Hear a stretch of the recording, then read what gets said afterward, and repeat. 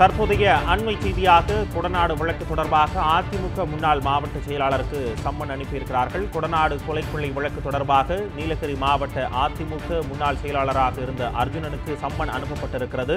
இது குறித்த விரிவான தகவல்களை தருவதற்காக செய்தியாளர் ஆண்டனி நம்முடைய இணைந்திருக்கிறார். வணக்கம் ஆண்டனி கூடுதல் விவரங்கள் சொல்லுங்கள் வணக்கம் அதாவது மீது அந்த கடந்த கோடநாடு கொலை கொள்ளை வழக்கு ரெண்டாயிரத்தி பதினேழாம் ஆண்டு ஏப்ரல் மாதம் நடைபெற்றது. அப்போது இந்த கோடநாடு கொலை கொள்ளை வழக்கு நடைபெற்ற நள்ளிரவில் வந்து அதிமுக அப்போதைய அதிமுக மாவட்ட செயலாளரும் அதே போல மேலாண்மை உறுப்பினருமாக இருந்த அர்ஜுனன் அதே போல அங்கிருந்த ஒன்றிய செயலாளர் ஸ்டீபன் ஆகியோருக்காக முதல் முதல் போயிருக்காங்க.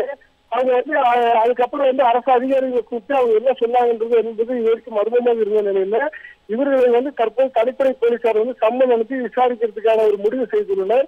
தற்போது வந்து முன்னாள் அதிமுக மேலவை உறுப்பினரும் அதே போல தற்போது வந்து அதிமுக கொள்கை பிறப்பு செயலாளருமாக இருக்கக்கூடிய அர்ஜுனிடம் விசாரணை நடத்த தனிப்படை போலீசார் சம்மன் அனுப்பியுள்ளனர். இவர்கள் வந்து நாளை அல்லது நாளை மறுநாளுக்குள்ள வந்து தனிப்படை போலீசார் விசாரணை நடத்தும் உதகையில் உள்ள காவல் அலுவலகத்திற்கு வரணும்னு சொல்லி உத்தரவிட்ட ஒரு சூழ்நிலையில தற்போது வந்து அதே போல வந்து அப்பகுதி ஒன்றிய சில ஸ்ரீபனையும் வந்து விசாரிக்கிறதுக்கான நடவடிக்கையை வந்து தற்போது தனிப்படை போலீசாரை வந்து எடுத்து வருகின்றனர். வரலாறு கொலை கொள்ளை வழக்கங்களில் தற்போது பல திருப்பங்கள் நடைபெற்று வருகிறது.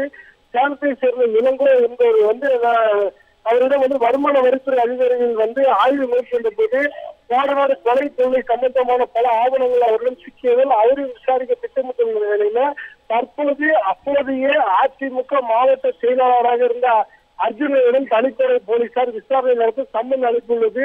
இந்த கோடநாடு கொலை கொள்ளை வழக்கில் பல திருப்பங்களை ஏற்படுத்தி உள்ளது சொல்லி. உங்கள் தகவல்களுக்கு நன்றி ஆண்டனி.